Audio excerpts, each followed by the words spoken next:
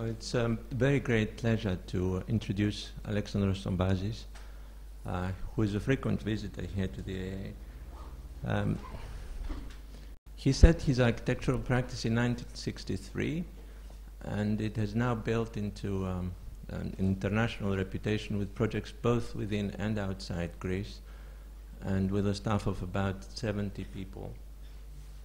He, um, he likes doing competitions. I think about 300 of them he has done and won about 90 awards in uh, national and international competitions. Um, I don't know exactly when, but he started the fascination with technology and uh, sustainable design probably in the early uh, 70s, which he uh, still has uh, very strongly. And um, I think now he's one of the uh, foremost proponents of sustainable architectural design internationally. Um, he was awarded the PLEA Passive and Low Energy Architecture International Award in 1998. Alexandros Tombazis.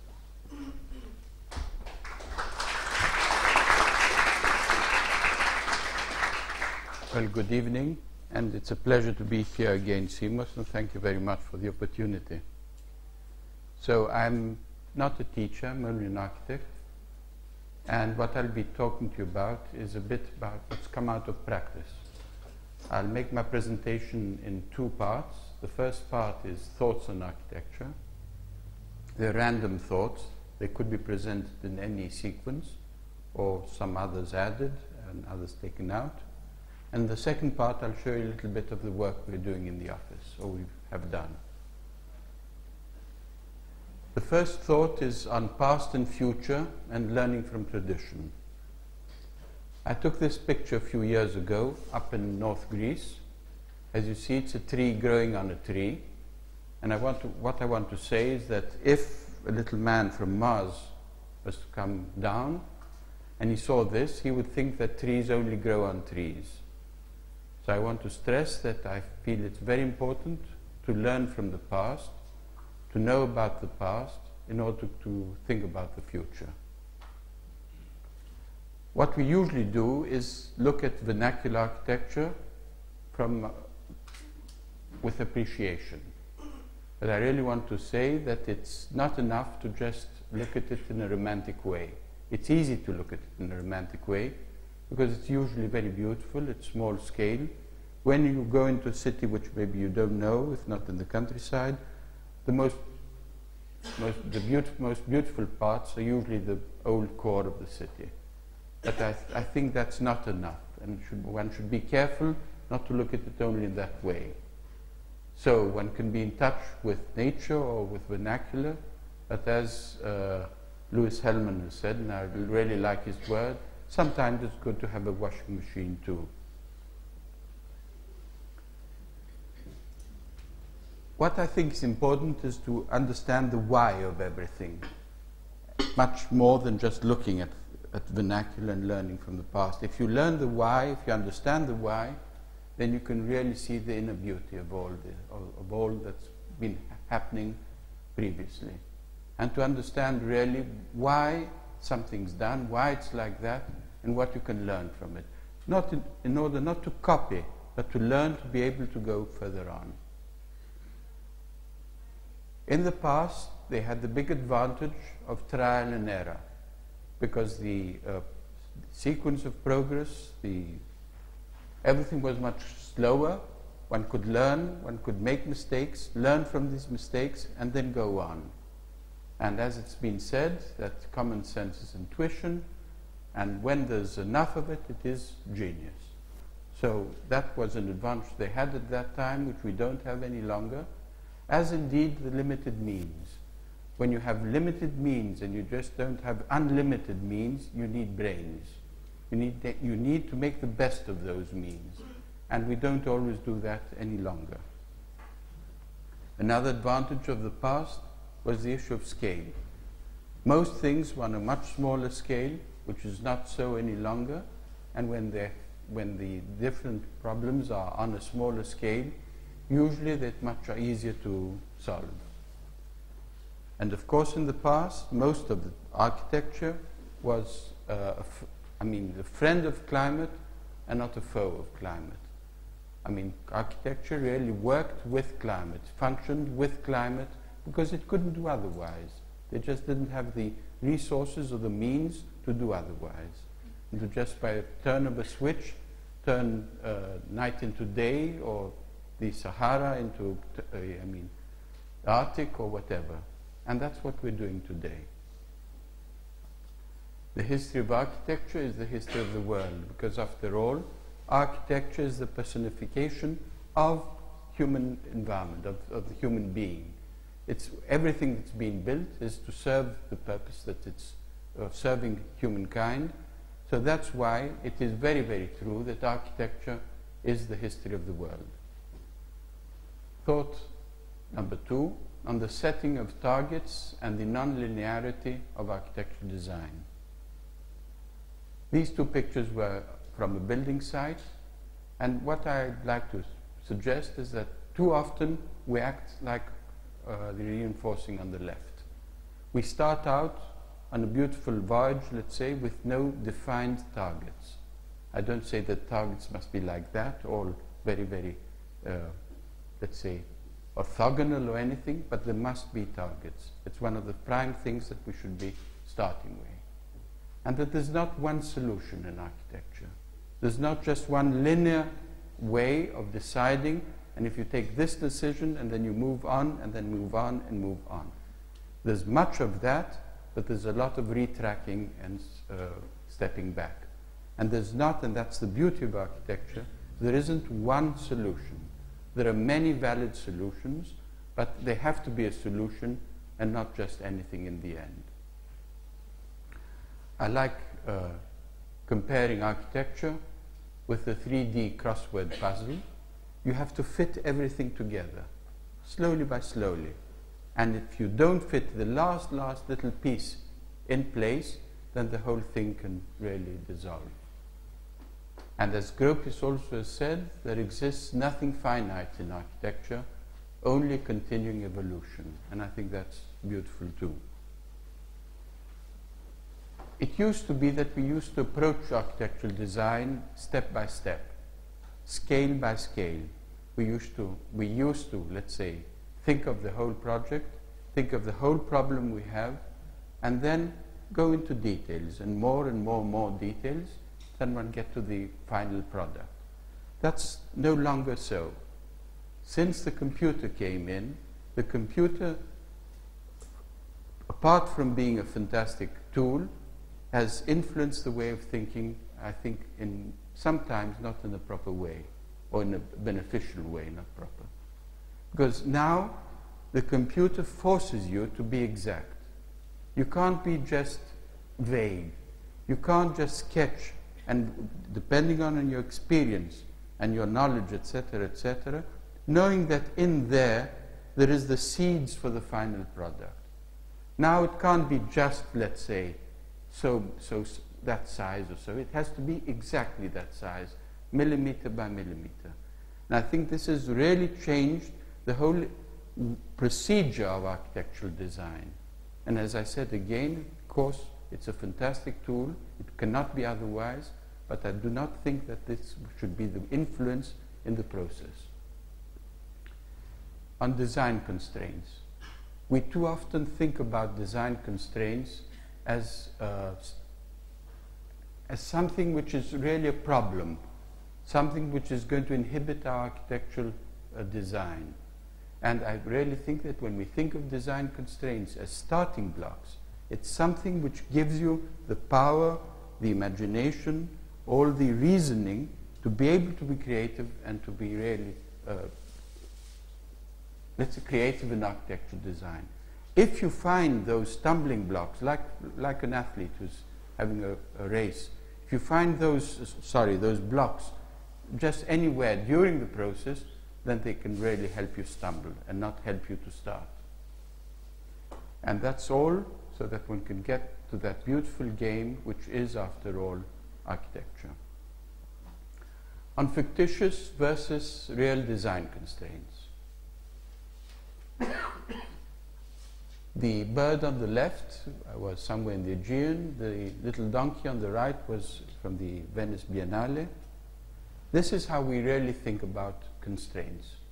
We, we really feel them that it's a burden and that they do not allow us to be creative. But I would like to say that thank goodness there are constraints. And the constraints everywhere and always, whether on the moon, whether on this earth, where, wherever you're designing. There just cannot be any design without constraints. And I think if you want to, as a teacher, to give students a nightmare, you just ask them to do a design of something somewhere with no constraints at all. There could be absolutely no response. I first went, I had an office down in the Emirates in Dubai for about 20 years. And I first went down to Dubai and I knew I was going for, all I knew was that was for some development. And I was flabbergasted when I was told, well, it could be anywhere, any side, lands available, no orientation. Well, there was a bit of a brief. It was development.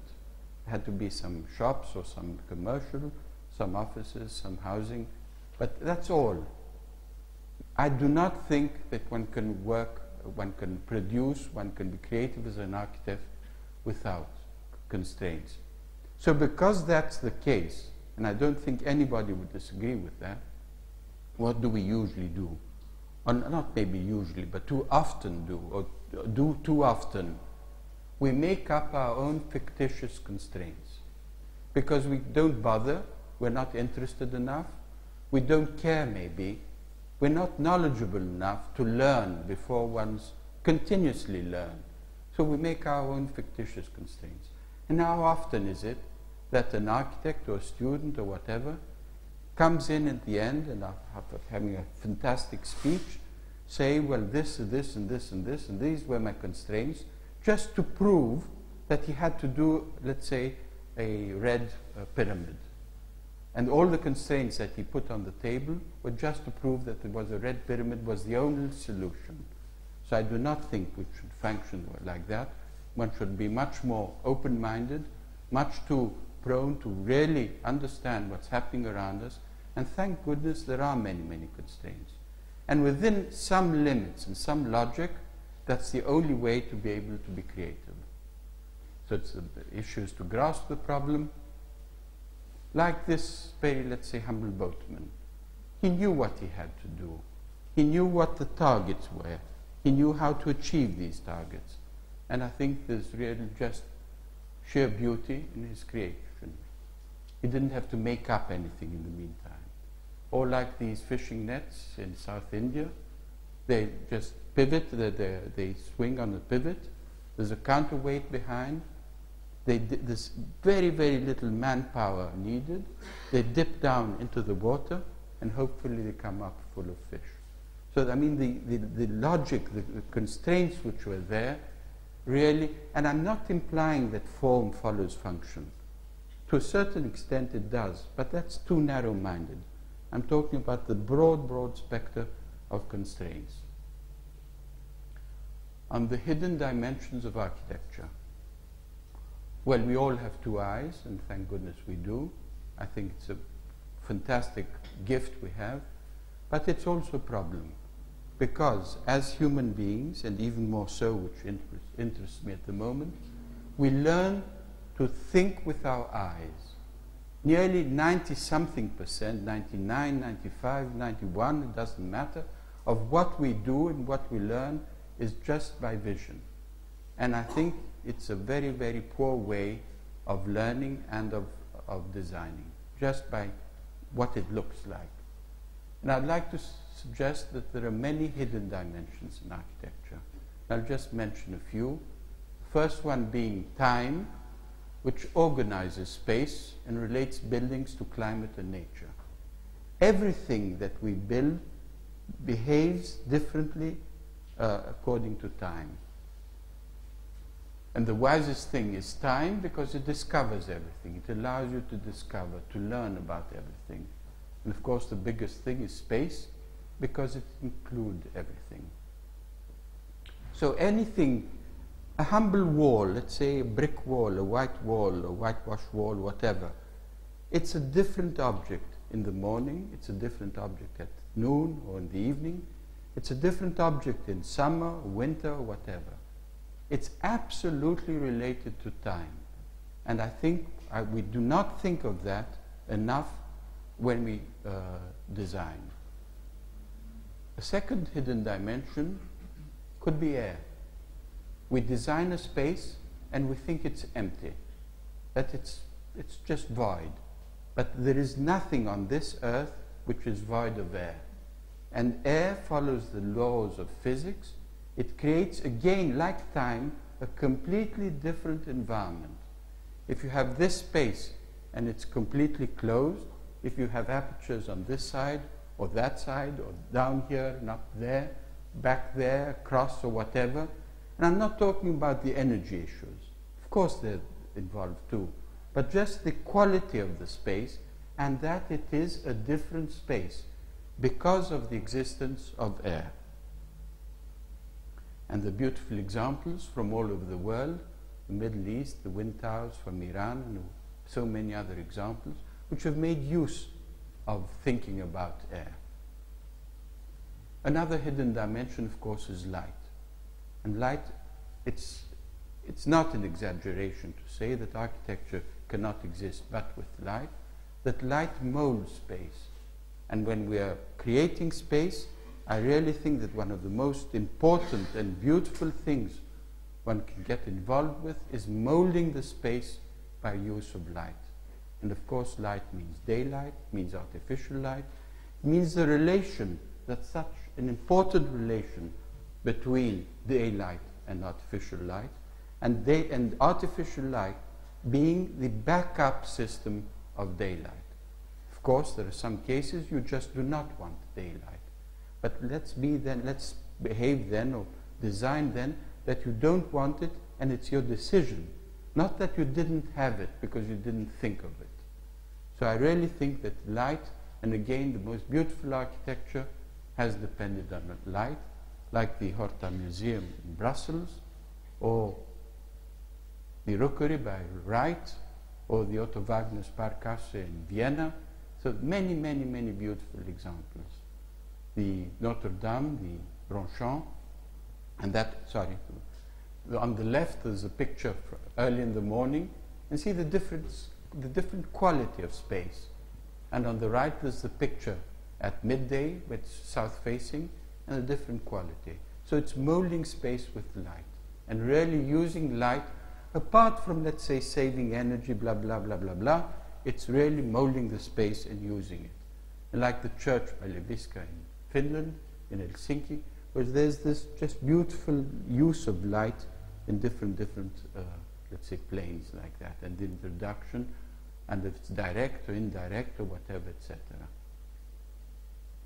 Another hidden dimension is sound. If sound, if light molds space, sound really floods space.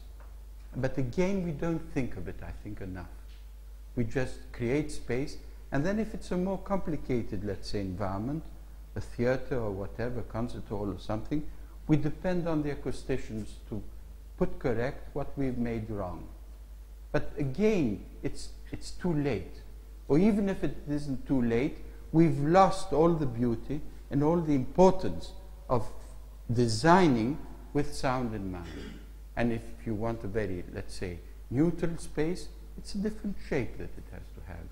If you want to have a lively space, it's a different shape. It's, it's so, so important, just as important, or maybe not as much, but just as important as, as light and all the other hidden dimensions. I love this saying that where does music go when it plays no longer? It just gives you really the essence of sound and acoustics in, in space. One could even talk about odor or smell, which captivates one in the most intimate of ways. And maybe one of some of the most intimate or most sensitive or most strongest memories one can have of a place is, of, is by way of smell. So what I want to say that both for architects and students, I think it's a good exercise to walk through what we're designing, take it one by one, which of course is not the case. Everything that I've been talking about happens simultaneously. And maybe sometimes, if you do more here, you're doing less there, or good here or bad there. But let's take it one by one and walk through our, our design and sort of tr- try it out. Check. What did we want after all? Did we want a very neutral lighting, a uniform lighting? Well, then, yes, there's this and this and this one should be thinking about. If you wanted an exciting lighting, there's that and that. And maybe having all the control systems to go from the one scenario to the other. On unlearning with every new invention. Man and architects, for sure, at least that's what I think, love inventions. We love reading the paper or hearing about something new that's been invented, some fantastic material which is going to solve all our problems. And then we really forget what's happened before. We forget that the sun is young every day. And it's a complete renewal every day of the same thing, of which part is inventions. And thank goodness there are inventions. But they are not just the solution to all our problems. We should not think of invention. We should not think that just a new glass, a low E or whatever you want, which has been invented, that will solve our problems and allow us to be free. That fantastic word of freedom. Because again, the basic principles do not change. There are different ways, but the, there are different ways, as I said previously, of achieving, achieving what we want, but the principles are there with the new inventions as part. And it's just not, not just like in the, on, the, on, the, on the beach that the sea comes and wipes away everything which existed before. I bring this example. This is a power plant, power, uh, plant by uh, generation, power generation by oil, and on the left there's a PV array. So let's say the day comes, and maybe it's not too far away, that we can really use PV, and, and let's assume some things which are not that incredible. Let's, let's say that the production of PV is benign, there's no harm to nature, there's no pollution, even its uh, recycling is, let's say, pollution free, and all that. What does that mean? Does it mean that we can do the same damn stupidities which we did in the 20th century? We can forget about everything just because we can plonk on PV on the roofs, on the facades, and everything? That's what I want to say. No, I do not think that's a creative way of thinking, let alone all the other things, let alone the practical issues of why do we need to, let's say, use all the PV if we didn't need it in any case at all. But again, I'm not trying to stress the energy part, but the, the let's say, the concept of design. On preventing and foreseeing instead of curing. My suggestion is that we do too much of curing and much less of preventing and foreseeing in architecture. These people in Rio, maybe they've read something about the sun and what it can do to their skins, and maybe they did take their own, let's say, precautions before sunbathing. But we don't do that in architecture. We just solve our problems with heavy doses of, of medicine. Like this, I remember this was in Jaipur. This was a poor chap having his teeth pulled out by a dentist on, very, on, the, on, this, on the roadside there. He doesn't seem to be having a nice time. Well, that's what we have in architecture. We just depend on the mechanical engineers, and again, thank goodness that there are mechanical and physicists and all the other engineers to help us but we depend on them. We rely on them. They take over architectural design. And it's like in preventive medicine that you could take your own uh, steps during your life, whatever that means. I don't want to get into that at the moment, and not rely on heavy surgery. The mechanical role, or the role of the mechanical engineer, of all the engineers, is heavy surgery when, sometimes when it's too late, let alone if it's too expensive, let alone many, many other things. But uh, just from the gain, from the philosophical way of design, and like the example on the left, maybe it's a very beautiful example. I don't want to comment on it at the moment, if it's good or bad architecture, but it's just irresponsible. Because how can that be logical or beautiful, and how can this be logical and beautiful? Which is so much, so much simpler means it's solving problems, but that is relying on the services to be able to solve. And then, please do not under- misunderstand me. I don't mean that this is how we should be designing. I don't mean this how things should look, but just the lessons. This is the why of everything I started off with, instead of just the results which are on the left. And I think this is a very important building. It's a seminal building in its times, but it just is a sort of an iconography of services being a fetish. I they've become so important in the design process that it can become the most important part of the building. On whether to design from the inside out or the outside in, and I'd like to say a little more than just playing with words. What's the inside here and what's the outside? What are these elevations in the Piazza San Marco or the Plaza Real in Barcelona? Is it the outside, is it the facade of the open space, or is it the facade of the building?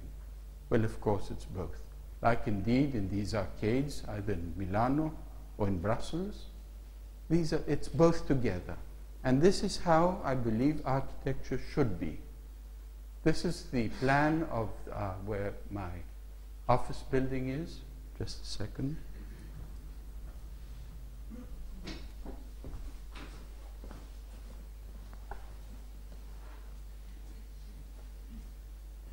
So, what I want to say here, we usually design in this way. We think of the building as the, let's say, the positive object and the open space around it as just what is left over. I do not think that is enough. I think we should be thinking in this way too, where that is the positive element and that could be the negative left over. Of course, like in the examples I showed previously, it's both together. But too often we think like this. This is an example of a small project, it's a house. This is a greenhouse. And I just want to show that one aperture here, it has an office behind, uh, sorry, a, a, table, a, a drawing table behind. And the, there's another aperture behind there, so you have cross ventilation, you have lighting from this space. And that uh, window, which is a bedroom, borrowing light and ventilation, etc., from this space. So it's a space within the space and this, this inside and outside all happening together. And I find that, that moment, that space, that interface between in and out, apart from being so important in architecture, can be really fascinating too.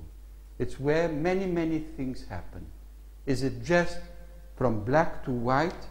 Are the shades of gray happening in between? Depending on, again, on the function, on the climate, on your attitude, on your whole philosophy of living and thing. And this interaction between the inside and the outside depends so much on culture. On the notion of less is beautiful. Well, Mies had said that, or if he didn't say, at least he behaved so, that less is more, more or less. But in any case, it's a whole philosophy, and I think there's a lot of beauty and a lot of very, very important architecture which came out of this minimalistic approach to design. And then, of course, there was Venturi, who, as a reaction to the previous, said, well, less is a bore. Well, after all, I mean, you can't design everything, you can't think of everything. Actual life is more of what you see here than what Mies has designed. And there's truth in that too. And then when the whole ecological move- movement took uh, importance, it was small is beautiful, said by Schumacher, stressing the, the idea that you can solve small uh, uh, problems and the ecology and the environment and the protection from pollution and sustainability in the end means small. And that's what one should be aiming for. I would like to just add that less is beautiful. And I think the small differences are the following. S- less is different to small. Small, that means it has to be small, or you should be thinking small. I think what's more important is to think less. Not, no, sorry, not think less, but sort of try to, to solve what your problem is, or your design, or whatever, the whole philosophy of life, with less. It doesn't mean small. It puts you in the position of being responsible, of knowing and of believing that you should choose what is necessary. You don't need a bulldozer to move a little, let's say, a handful of earth. You need something which is uh, what's really necessary. And I, what I also want to say is for me, it's much, much deeper and much more important, apart from all the ecological, apart from all the energy, all the sustainability issues, that together with that, it is also beautiful. If you can design, if you can think, if you can perform in this way, I do think that there's an inner beauty involved. And it's not a matter of just numbers, it's not a matter of obligation, it's not a matter of responsibility, but there's real beauty in that way. And I like stressing this to architects because the, I believe that the whole issue of ecological sustainability, the ecological design, sustainability, sustainable design, etc., has been overemphasized only as a duty to mankind, to, I mean, what we're leaving for our children or our grandchildren, etc., etc. I think it's much deeper like that. And I think it's a much more beautiful way of thinking than just uh, figures or whatever else. As long as you think in the issue of less and that you do really believe that it's beautiful. On skins. One can learn a lot from the world of plants and the world of animals, etc., etc. Again, why? Why is the leaf of this plant there different to the leaves of that plant there? I won't say why, I mean, there are many, many reasons, many obvious reasons. But there's beauty there, and there's beauty here, and there's practicality here, and practicality here, and issues of survival, etc., etc. And here too, I mean, both these beautiful animals, each one has its appropriate skin. The one on, a, on the left is an oily skin. It can close in, it can open up, can protect itself from harsh environments, from big, I mean, from very low temperatures, the color and all that. And the animal on the right, it has its appropriate skin. It's a dark skin to be able to survive in a lot of sun. It's a loose skin and it can go days without water, etc. And these beautiful creatures, I mean, she has a different skin on her belly, different skin on her nose, on her back, etc. Isn't that beautiful? Are buildings as beautiful as that? Do we think of the skin of a building being differentiated dif- uh, depending on where it is, on what its function is, etc., etc.? Or, we just do, or do we just think of it in a monolithic, let's say, solution? And if you go move up to the skin of the human being, well, then, without being a doctor, I'd say it's sheer poetry. How it can self heal itself, how one perspires, how one loses about a liter and a half of water in normal conditions a day, and so many other things that the skin can do for you. It's different here again, it's different back there, etc. Again, let's think about buildings in a similar way. The multiplicity of applications, that's what I want to stress. And the multiplicity, as I said previously a bit, depends on culture, it depends on environment, it depends on many, many things. But it's not just a straight jacket with no, no concern about all the beauty that can be involved. on buildings as living organisms. These pictures were taken in a garden I have in a weekend house. Before the sun comes out, that's what one sees. And the moment the sun uh, comes, the flowers just pop open like that. And then when the bees start doing their daily business. Or sun tracking flowers, they're absolutely living and they really live with the sun. Or these beautiful creatures. And as writers said, we should learn from the snail. It has devised a home that is both exquisite and functional. And this example from the Aegean, these are little mounds of earth, just loose earth on the, on the uh, roof. When the rain comes, the first rains come, little particles of that earth are, are drawn away and they fill in the gaps, the cracks. I don't say that this is what we should be specifying in modern day architecture, but it's the thinking behind this which I find so fascinating. The simple but beautiful, really philosophical uh, situation, which I don't think we think about in that way any longer. Or a skins which are self healing. And again, I don't say when could be whitewashing the super high uh, skyscraper.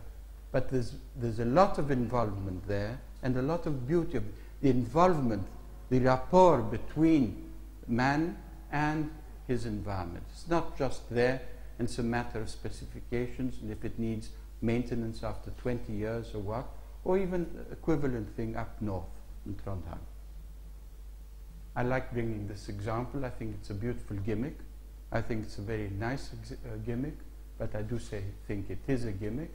It's from the Institut du Monde Arabe from Nouvel, and this is the south-facing uh, claustra he's done on the building, which reminds you, of, of course, a lot of Arabic uh, design, Arabic way of thinking, but also, I mean, of closing and opening depending on what the needs are. I think it's a very, it's a nice example of a way of thinking. On sculpture and the utilizability of architectural space.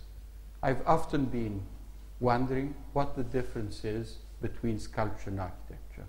And of course, I'm talking about sculpture because I, I believe that from all the arts, that's all the visual arts, the sculpture is the one which is surely closest to architecture. But the uh, boundary between the one and the other, I think, is quite difficult sometimes to define. Brancusi has said that architecture is inhabited sculpture. It is, but I do not think it's enough. Proof, I mean, today's installations where you walk through, you can go through, they are sculpture and not architecture. What are these? This is both either in the Far East or this is in, in, the, in Nepal, I think. This is in Cyprus. What is this? Is it sculpture? Is it architecture? This too? And the next? And this? What is it? So, what I'd like to say or suggest is that I believe that architecture is sculpture plus function. The moment you add anything of a functional nature to sculpture, then it becomes architecture. And like that, I think that the, the, uh, the hillsides, which are being terraced like that, that is architecture and it's not sculpture. Because there's a there is a functional reason which makes it what it is. And furthermore, I think what's important to remember is that architecture is sculpture plus function plus climate. Because sculpture you can take and you can put it nearly anywhere, irrespective of climate, irrespective of place, even to a certain extent, irrespective of light. Because you can have a lighting condition in London or in Brazil or whatever you want for the same piece of sculpture. And maybe that piece of sculpture is just as nice, just as good, just as beautiful. In architecture, it is not the case. As I said earlier, the same wall in Brazil or in New York or in London is a different wall and has a different function and a different, let's say, result. And one's always asked, I mean, okay, down the Mediterranean, you can do different things that we can't up here north because you have the sun. Well, that's just false. All buildings are solar. There is no building on this earth which is not solar. The question is how stupid or how clever, how efficient, how beautiful, etc., etc. Because form and shape are not abstract notions as far as architecture. And that's what I think makes architecture different from sculpture. And the reason is that little thing over there on the right. On the difference between architects and engineers, and there's no prejudice in what I'm going to say now, but there is a difference between them. And again, thank goodness there are differences between architects and engineers. An architect is a generalist, and an engineer is a specialist. And the one is complementary of the other. The architects have to, I mean, engineers know more and more about less and less, and that's how they should be functioned, till they know, I mean, everything about nothing. And the architects act exactly the opposite. They know less and less about more and more, till they know again, oh, it's the other way around, I'm sorry, but the architects know uh, everything about nothing, whilst the engineers know everything about very, very little. So it is like that, and this is a difference. We should remember this and we should make uh, use of this. And I think this is one of the difficulties of, our, in, of architectural design, that we have thousands and thousands of figures, of numbers which are churned out by the, by the computer, by, by, by the internet, by whatever, there's this vast amount of, of information. How can we assimilate all this information? How can we make use of it and not just be very, very superficial? And one thing which is so important is communication, because architecture is all about communicating. And I think one of the most important things for an architect is to be able to convince. Every day you have to convince. You have to convince yourself, you have to convince your colleagues you're working with, you have to convince your clients, you have to convince the more general public and everything. And to be able to convince, you must be able to receive and you must be able to communicate. And another little joke is that roads, bridges, and piers are the stuff of engineers, and wine, women, and men, and sex are the stuff of architects. I think architects have said that, but what I really want to stress is that one is not necessarily better than the other, it's just different. And it's this difference that we should be making use of and benefiting from and learning from. I'll finish this first part of my presentation on a thought that egoism, on, on egoism, vanity, and humility. Every artist, and I do believe that after all, or start with even, more important, architecture is an art. Every artist has and cannot do without some degree of egoism. Our whole career, our whole work, our everyday existence is comparison. What have I done? What have you done? What some, somebody else done? So that is egoism in there. And we're, we're, we are interested. But does it have to be hostile always? Can it be friendly? And we do have to lead. Of course, we architects love this. We say we're the conductors, we're the leaders, etc., etc. But to be able to do that, you must really have the sense, the education, the, the humility to be able to behave like that. And of course, in other projects like the piers or the, the bridges or whatever I was talking about earlier, before, Maybe the leader of the team there is the engineer, and an architect is part of the team. When it comes to building, it is the architect who is the leader of the team. But we don't work in this way enough. We don't really lead. We just follow what is uh, put, uh, forced onto us by all the other people. And that, I think, is of utmost importance. And we have to communicate, as I said. One has to work more like this and less like this. I also believe that an architect could be, uh, is like a giraffe. He has to have his feet really sturdily on the ground, has to learn from what's below, he has to be sturdy, he has to learn, he has to get dirty from mud, and it's very, very important that he has his feet on the ground. He cannot just be up in the air.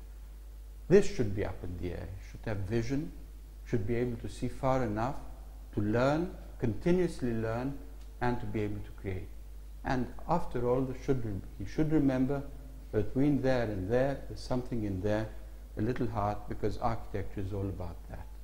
Because there are so many problems to solve and so much beauty in our work that I think it is really one of the most beautiful professions one can be involved. So I'll say a few work, I'll show you a few of our work, a little of our work. I'll start with how I started back in 68. This was a little house. It's open, it's near the sea. It's I, anything I did from the, let's say, the design point of view at that time, from, the, from all the issues that I've spoken before, was more by intuition. So one can say here that one has cross ventilation, there are double roofs, there's shading, etc., etc. But one can also trace here quite a bit of influence in some of the next work I'm going to show you of the Japanese metabolism.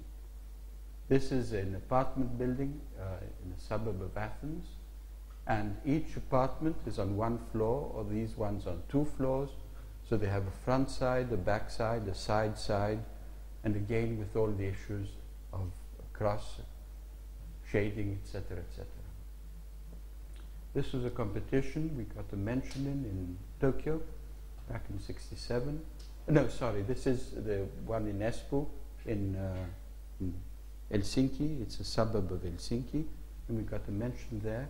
Again, you can trace the influence from the Japanese metabolism. It's a building or structure. It's really not a building, it's a structure that could grow, as indeed the next project which is General Cement Company headquarters. That's a bit more recent, a little after the previous one, in 72. That was a competition too. The idea here was there's a module of uh, 14 meter 40 this way, 9 meter 60 this way, and the whole building could grow in time. And indeed it did to a certain extent. So all the main services are underground, and then there are just the branches of the tree which come up like that. So they're all small in nature, and like that, there's no center and just then the periphery. It's all very neutral and it can grow. I'm very proud of this building. And the reason I'm very proud is because I've learned something. The consumption of this building was 800 kilowatt hours per square meter per annum. The last building we've done is 50. So it means one has made a little progress. And again, it's not that I'm really referring to the energy consumption, it's the concept of design. This is a very, very deep plan. I think quite an inhuman plan, but we did. This is what was requested. And, and I'm not just saying this as an excuse. I'm fully responsible for what we did. It was a, what was called at that time the famous Bürolandschaft, a German invention of an open space of all the flexibility, etc., at the price of both consumption and environment. Of course, this building today could be done in the same way, quite a bit better, because of technology, better lighting fixtures and things. But again, that's my photovoltaic, let's say, example. It's not enough just to put in better lighting, because it's still all artificial all the climate is artificial, etc. It's not correct. You can see at that time of tinted glass without any shading, although maybe it is on quite a nice environment, but I do not think it's correct. This is the first, and I'll stress the word, solar house I did. Back in 77, it's a very small house on the hillside. In fact, it was for our own use, a weekend house so all the mistakes I did, I've paid for in the meantime and learned from. And I'd say this was the first uh, solar house because I thought that solar then was something different or something important, especially something different.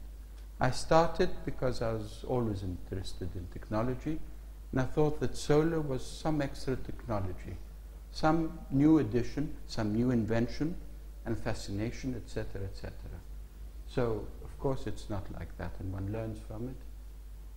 I think the most important, this is a north facing uh, little building. It's only about 80 square meters, it's very small.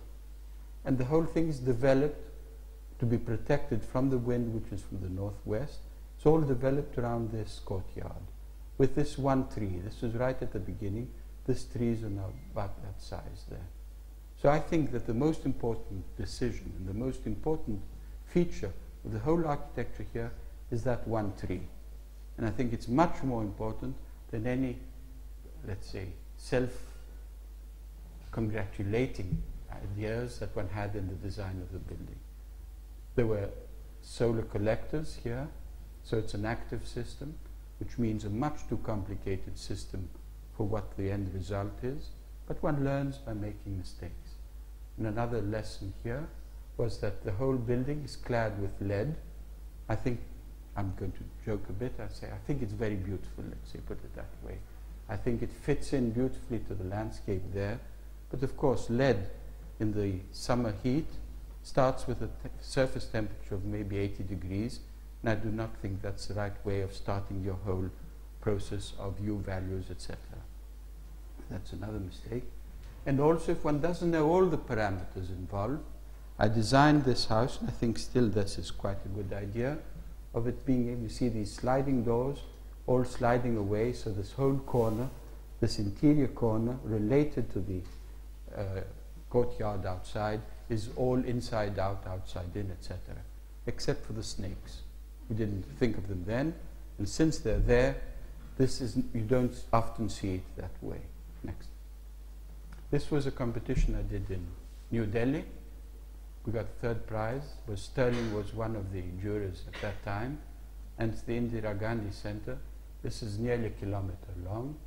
I want to show how we dug out and put parking underneath there. We, create, we created this wall to protect from the north wind. We created these open spaces for museums, for exhibitions, for theaters of different kinds. We had there's a sort of a, a reference to Lutyens over here because there's some very beautiful Lutyens buildings on the other side of the sea. So I want to say that it was uh, quite a bit later, but uh, it's, uh, that's wrong in fact. That was about in 76, that's a wrong date there. It's a bit later than the other projects, but it's starting to be conscious of environment. This is a mosque I did in Dubai in 82.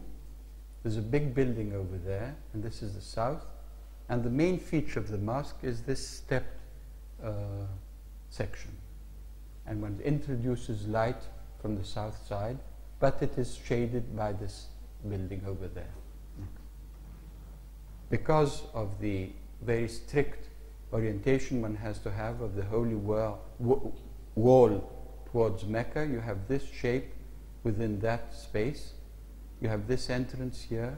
You have different levels. You have lighting coming in from above, and you have all the lighting of the main space here which can fit about a thousand persons.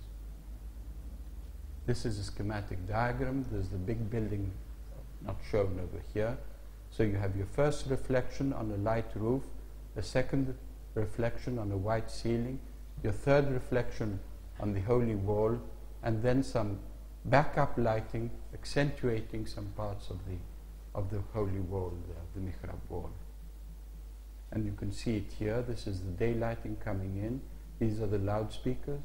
And you can see this is all sayings from the Quran and the, the accentuation.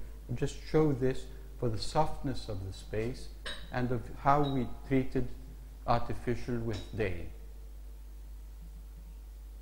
And it has been successful. They use it for all times of day, for lessons like you can see over there, or even just to spend their time because it's a nice, cool environment. This is our offices what I'd like to stress here, and this is the sketch I showed you earlier, is this semi-public space.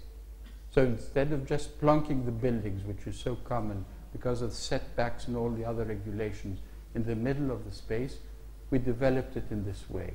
with ponds, with open space, by transplanting very beautiful mature olive trees, etc., etc. Again, using daylight. All the apertures are related to the workstations where one's sitting.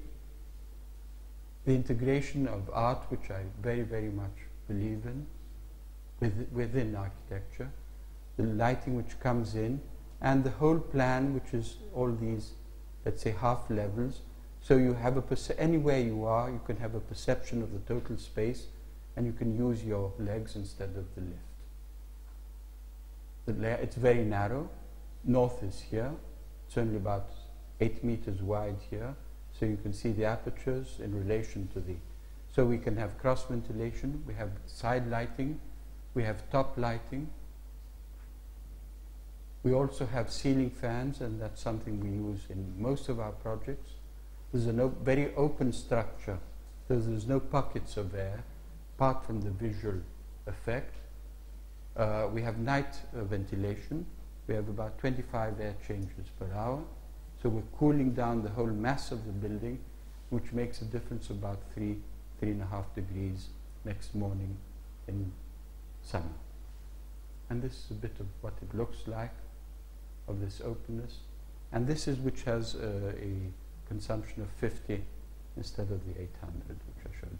And the measurements done by the University of Athens are that equivalent air conditioned, and this is air conditioned, both heating and cooling, as a backup is, is mechanical. So the equivalent buildings in Athens about 280 to 300 compared to the 50 or my fantastic achievement of 800 of some years ago.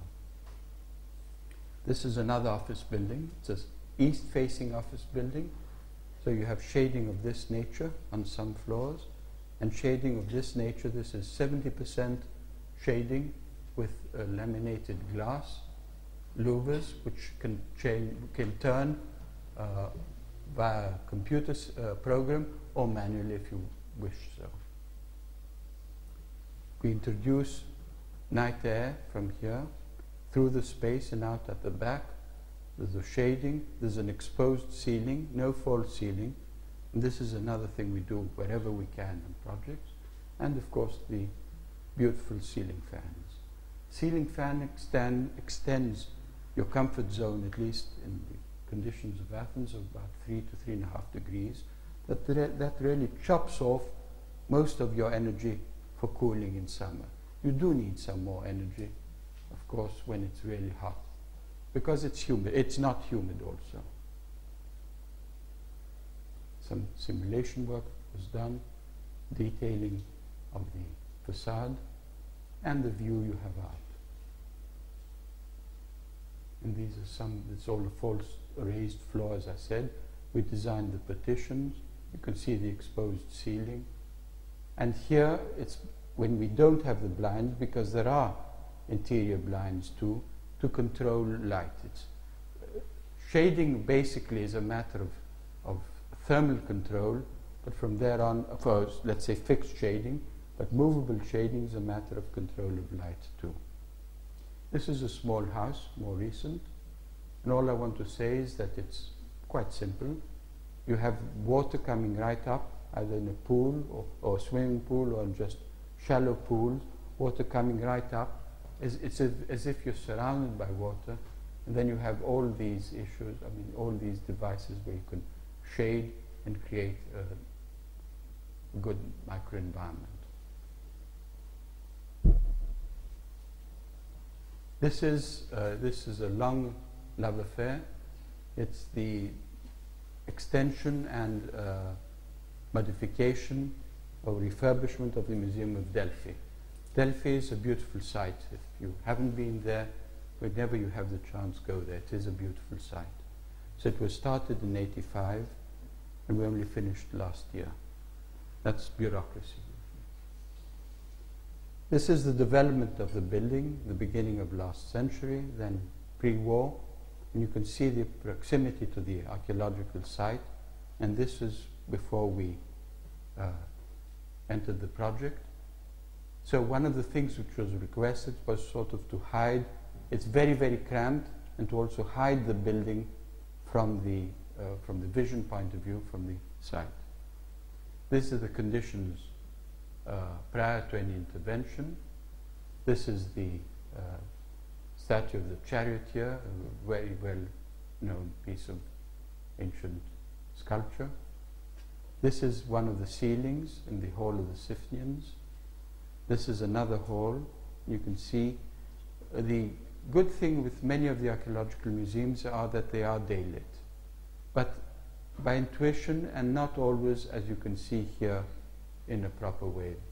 This is a building, the original, or the second, the middle picture previously by Karandinos, who was a very uh, well-known architect, did some very, very good work, but one can see the mistakes or the problems that existed, apart from the acoustics, which was also really terrible. This is a reconstruction of the ancient shrine, and you can see all the ramps up to the temple, to the theater, and to the stadium, which was further up. And this is which, what is influenced our design to, to an extent. So we made these ramps. We approach the building on a higher level. You come in here, which is a logical level because the main exhibition space is there, whilst originally it was cramped through little stairs within the building. And we did these, the sequence of walls, let's say, of planes, which hide, they respect the old building, and they even show part of the old building so as to be able to show history, the development through time. Most of our intervention was in the roofs, and we did this new ceiling in the Siphnians, in the hall of the Siphnians, or this new roof which you can see there. And this was done with a lot of, let's say, research, with many people involved. There was uh, Mike Wilson from University of Northern London, Bartenbach, and many others. And the acoustics also. And instead of directing light onto his bald head over there, you're sort of reflecting light that way so as to really make best use of the lighting effect. And another issue, it's all about what I said, molding space with light. So we have this wall, this panel over there, and there's another one on the right, another one on the left. So there's an aperture behind which you can't see, but it plays an important role because you have light in coming in, reflecting on the back side of that, and reflecting onto the wall. And that's the balance between the light intensity on the wall there and the light intensity coming by sequence of reflections onto the object there. This picture is taken by flash, and that's the natural lighting of the, of the sculpture. New roof we put on here with exterior blinds. We had to keep the old, let's say, and these are the walls that you can see both in the evening or during night or during day. And the small extension, because there's very little space, we did uh, next. This was a competition we did not get any prize on uh, for. In this is the archives of the government of, of, of uh, Japan. The first prize, and I think it is quite a nice building to look at. I'll just leave it at that now because it's just recently been finished. It was a, just a, a, glass box. And within that glass box, there's all the archives. So, without comment. Uh, what we did, south you can see, so we turned the building a bit so it's due south. We created a big wall over there and a huge trench. And we directed natural light by way of sun tracking mirrors into this trench. And then by uh, second reflection by the mirrors into the different levels of all the storage of the, archi- of the archives which are underground. So contrary to the uh, Grand Bibliothèque, let's say in Paris, which most of the uh, storage is up in the air and exposed to the sun, and then they put in all the Louvres afterwards. This, most of this is underground. There's quite a lot of use of water. This is all the administration, and this is all semi-underground with a lot of sculpturing and molding of the roof for the libraries. And you can see here in courtyards. And this is this big wall And within this wall, apart from the, the solar tracking mirrors, there's the whole, this wall was uh, uh, all proposed to be with PV, and also within that wall, there's all the communication, the pneumatic system of getting uh, what you want from the basement into the reading area. Next. This is an office building near Athens. It's for the headquarters of the Greek refinery. I'd like to stress these structures here of sort of extending the actual skin of the building more in space to the microenvironment and by, you can see the use and protection. It's quite an introvert building because there's quite a bit of pollution in this area. And by doing that, these are spandrels which are insulated, but it's glass, printed glass there, clear glass, etc. This is a viewing tower. This is southeast, so we could be shading that way. This is a schematic of it. I mean, this is the main spine of the building. And then you have buildings, wings which are like that, one there and two, with an interior courtyard. And this space there, which is like the main street of the whole structure, you can see here on different levels, with glass, with light coming in, filtered, etc. This is uh, a building which we've just nearly finished construction at the moment. It was a competition which they didn't give a, second, a first prize, but they gave us the project as a second prize. And again, it's two wings. There's one wing here, another one over there, with an atrium in between. This is in Cyprus, and it's for, for the power company. And you can see this is a thing we've done many times now of, of breaking up the main volume of the building into smaller parts, treating the south facade as a double element. Here we're shading glass here with PV. The use of PV in these cases is more demonstration for the time being than really actual uh, making you from the financial point of view. And you can see the configuration of the atrium here for introducing north light and uh, ventilation, etc. South facade, again an insulated glass spandrel, clear glass, etc. Next. Next. This is a competition which was won by an Irish team was for the uh, Archaeological Museum in Cairo. And this is uh, just one quick word about competitions. Seamus mentioned a bit. I do believe that competitions are extremely important. I think there's hardly any other profession which contributes so much to, to let's say, to, to man, like the architects and all the other members of the team were involved in the competition. In this competition, there were 1,750, if I remember correctly, entries. So, of course, you don't know it exactly from beforehand, but I mean, the chances of winning is, are rather slight. But I still think that they're very, very important. It's a fantastic situation to be in a jury. One feels like God because you have everybody at your feet there. You have, and you've taken so much time, so much effort to think about what you're doing. And there the jury has that at his, at, at his feet. And all he has to do is compare. He doesn't have to go too deep, but he has the fantastic advantage of and luxury of just comparing. I think this is beautiful as a, as a way of uh, contributing and functioning. The one drawback of, of competitions is I believe very strongly that architecture is all about dialogue. It, and it's a continuous dialogue. And that's one thing that is missing in a competition. There's no dialogue. You're alone with yourself. You're out at sea with all alone. And only afterwards, when you see what the others have done, which is so much better many times than what you've done, and you learn from that, and you see what the result is, then the sort of the dialogue within yourself, because it's too late, of course, then. But that's when it starts. So I think that's one drawback of competitions. But there are many, many advantages and many, a lot of beauty in competitions.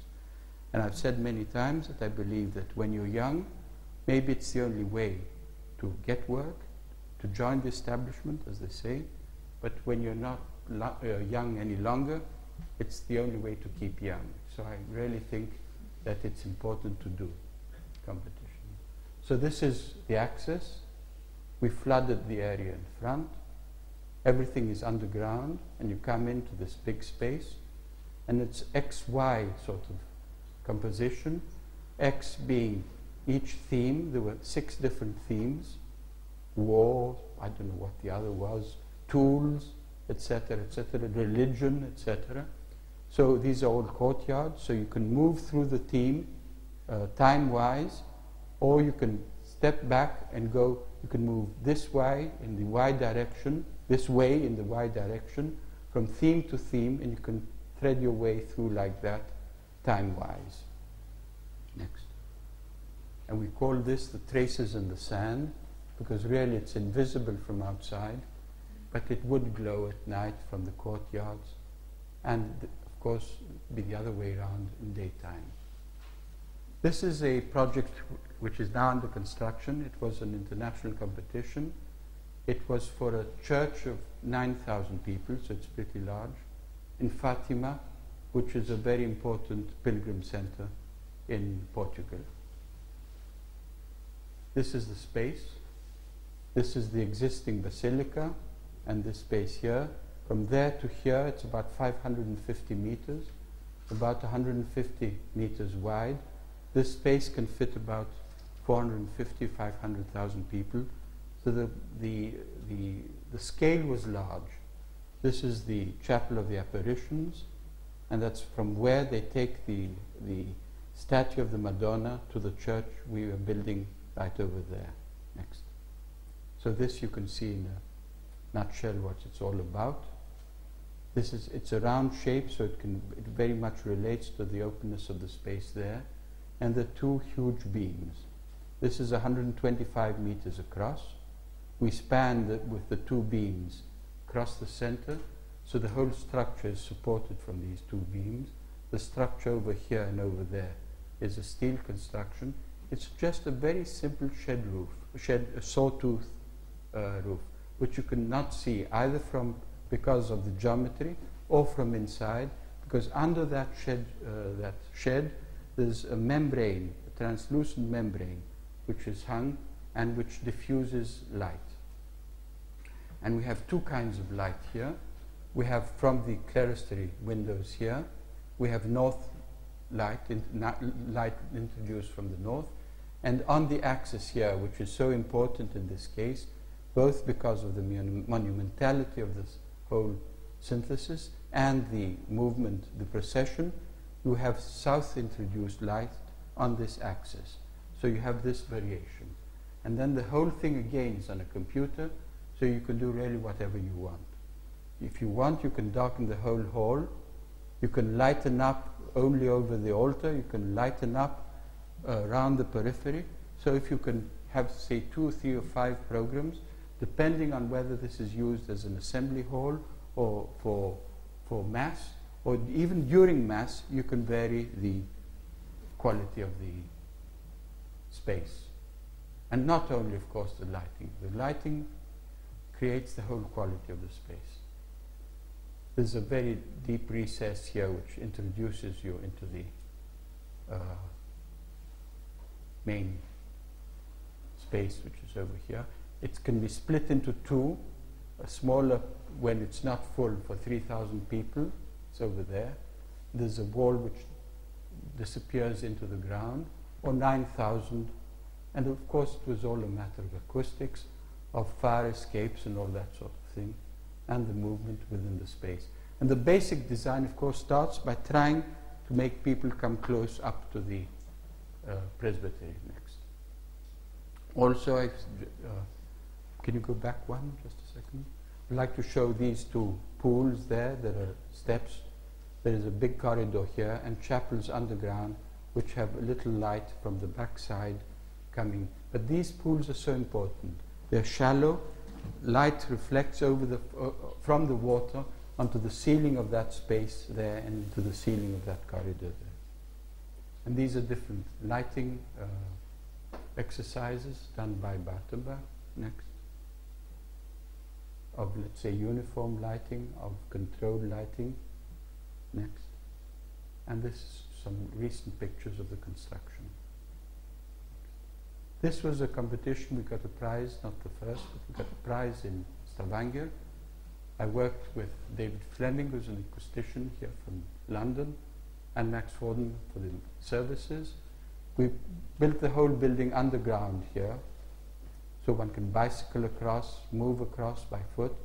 We did this inclined tower, which has a viewing tower, a viewing platform over there and a restaurant.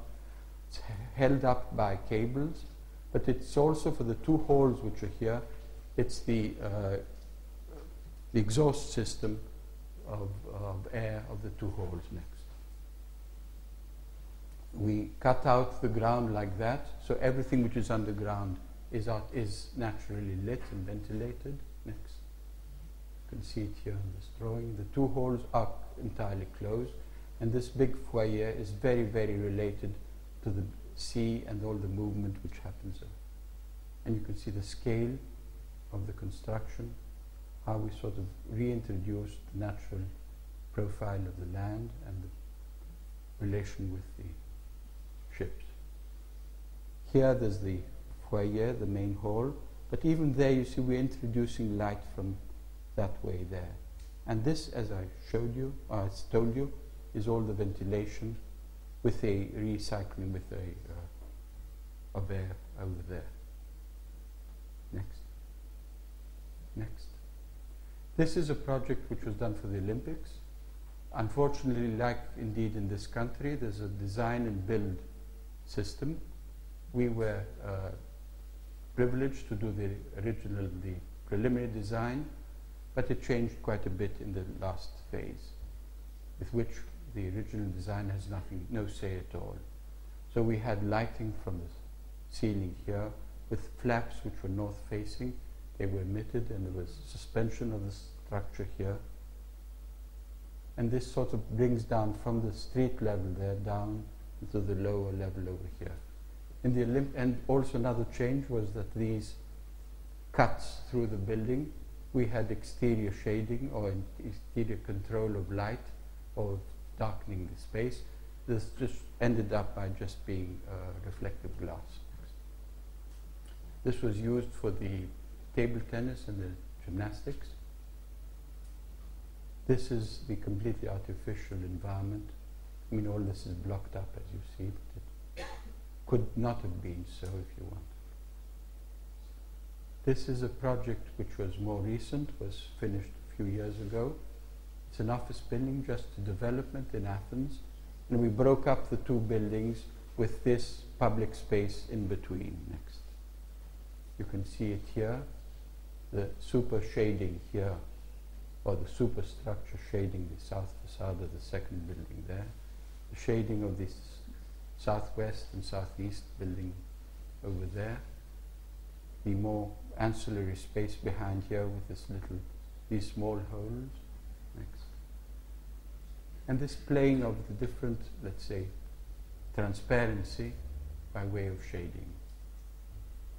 And I'm just finished with that quote that the reason we have two ears and one mouth is to hear much and say little. So I'll stop with that and thank you very much.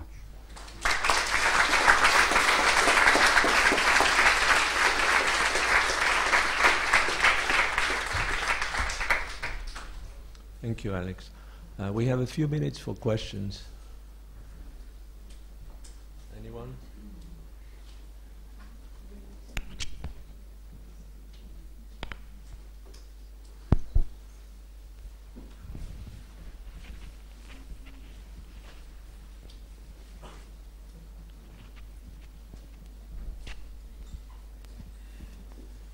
Thank you very much.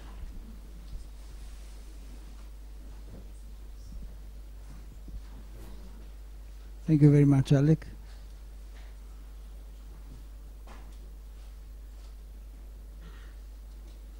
Okay, thank you very much, Alec, for this excellent presentation. The question is global or local. Hmm? What's The question is global or local. Well, global, of course. I think there's, there's such a fascination and such an advantage in so many very, very important things that architecture, and indeed architecture is only part of life, as I said, that our whole way of thinking is global. And I think we cannot behave any way any longer in a way that we're small societies apart from all the other societies in the world. I think that's a beautiful situation. And one can really know what's happening on the other side of the world in an instant. One profits from that.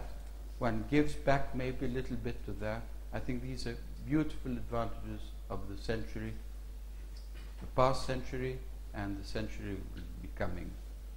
On the other hand, as I try to stress, climate is different in each part of the world, and culture.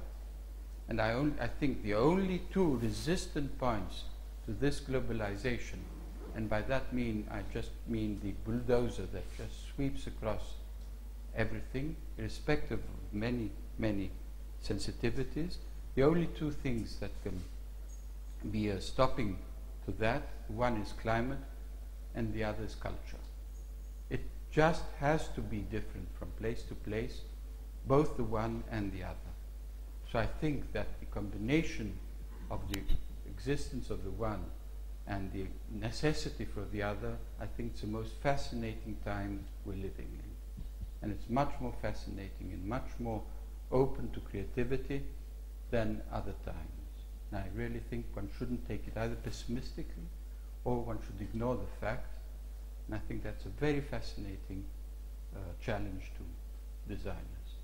So what is what, what is the next stage for you then? What's uh, what's the next project? What is it that you haven't done that you would like to do in the immediate near future? Well, I think an architect has the advantage and disadvantages, disadvantage of having to work for a client. I think that's a big advantage because what you're doing is so much a social contribution. You don't work for yourself. I mean, many architects can think up beautiful things, and many of the important present day architects started as theoreticians, I mean, just dreaming. And then they proved that they could do much more than that. But real architecture is all about building. And you can't build for yourself. And th- by that, I think that architecture is very similar to music. You need interpreters. Maybe a musician, it used to be that he had to have a client, most often the king or whatever, the prince.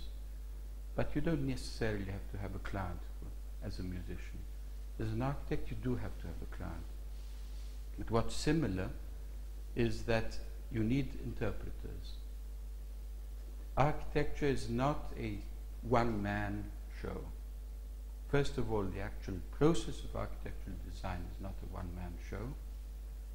I'm sort of avoiding the uh, question for a moment. But in the office, for me, the most fascinating moments is when you're talking with your colleagues, you're, that dialogue I mentioned. And I really don't care a damn if an idea is my idea, your idea, his idea, or what. It means nothing. It's everybody's idea. And the better you are, the better you can better my idea. And the better I am, the more I can add on to your contribution. And that's what I believe how architecture builds up. But in the end, you need a vast amount of people who interpret what you're doing. And I think uh, ar- architecture is a real, has to be a very, very sound marriage between high quality client, a high quality design team, and I'm stressing the team and not only the architects, everybody involved, and the contractor. If one of those three are inferior, the total, the total result will be inferior. They have to be of the same quality. It doesn't help for the two to be up there and the one to be down there. So that's the beauty and the disadvantage of architecture, that many good ideas end up as sh- in shambles, But again, I think it's the responsibility of the architect, as far as he can, to try and influence and get the thing built. Because nobody, one can look at beautiful pictures, but that's only, that's not full architecture.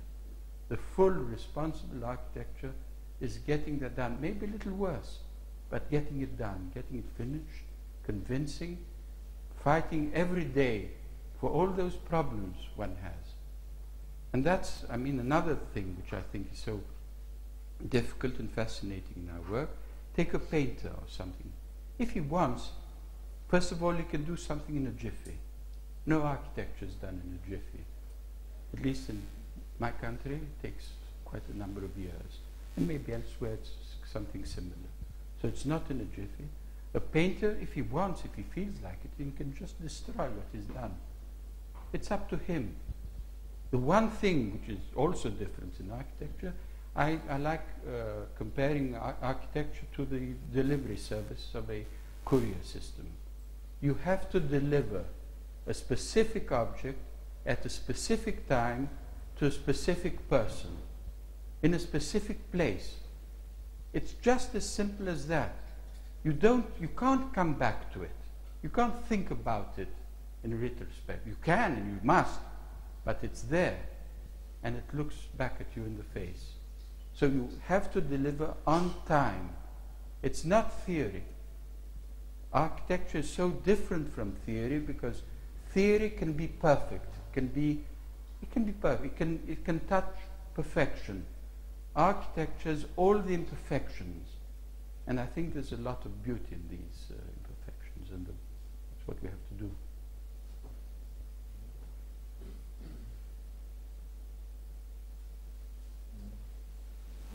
Well, Thank Alex, you very much. Hmm? Thank you for the thoughts and the lessons.